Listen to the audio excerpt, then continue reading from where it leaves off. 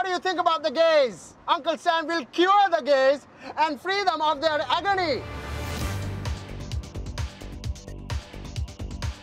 I am here at Parliament House to meet the head of the gays, independent Sydney MP, Mr. Alex Greenwich, in a bid to win their support. My dream is to have all of the gays behind me.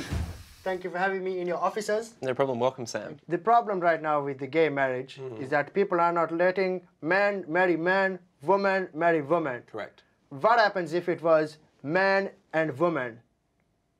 So we changed the man and man to man and woman. This one has the mind my language sex change. I think that's a very insensitive comment. If you took that policy to, to the electorate, you would be widely condemned.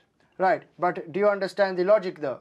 I d- no, because I don't think you understand what you're talking about. As one person who just recently ran an election to, to another person, Okay.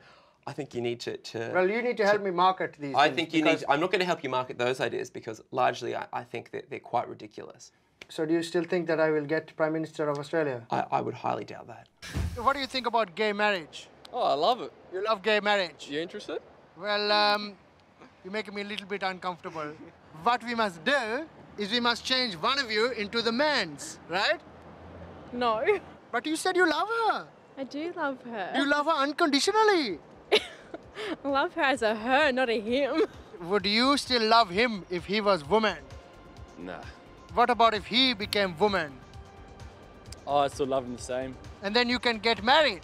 That's right. That's right. We have the solution.